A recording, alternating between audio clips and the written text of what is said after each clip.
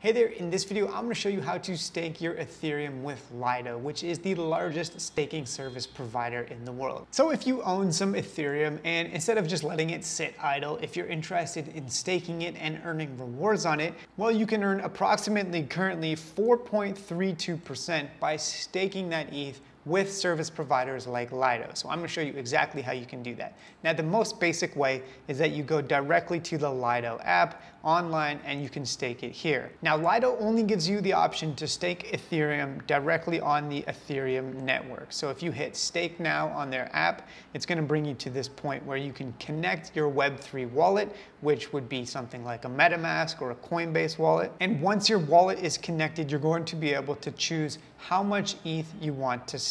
So let's say I want to stake 0.1 ETH. Well, I could do that here. However, you can see that the transaction cost is gonna cost more than $10, $11.57. So that is actually a little bit expensive. And there's a couple of ways that you can lower the transaction cost for staking ETH, because if you're staking a small amount, it doesn't make sense to spend $10 on transaction costs. If you're staking a large amount, then obviously that's not really that important. Now the first way that you can save money on transaction costs is by going to a decentralized exchange like Uniswap and then actually swapping into staked ETH. Instead of minting it directly, you can trade for it this way, and you can see that the projected gas fees for this are $8.73 as opposed to almost $11 if I was going to mint new staked ETH directly through Lido. Now, another way that you can save even more money to stake your ETH is by doing it on a layer two network. So ETH mainnet we know is the most expensive, but if you wanted to get staked ETH, for example, on the Optimism layer two, you could do that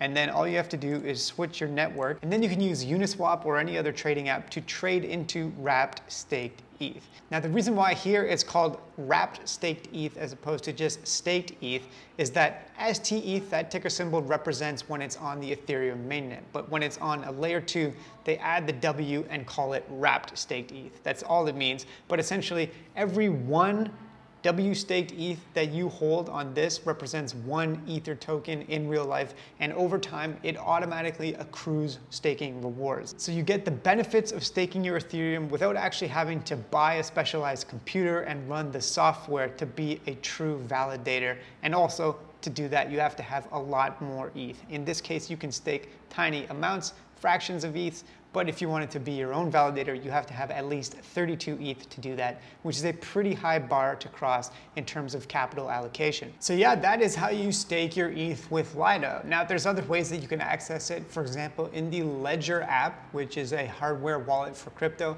you can actually stake with Lido directly, which is a useful feature if you want to do it that way. And of course, sometimes you can buy staked ETH on centralized crypto exchange platforms. However, if we're talking about something like Coinbase, they have their own version of staked ETH, which you can buy on their platform. Anyways, hopefully you found this tutorial helpful. Good luck staking your Ethereum, and I'll see you in the next video.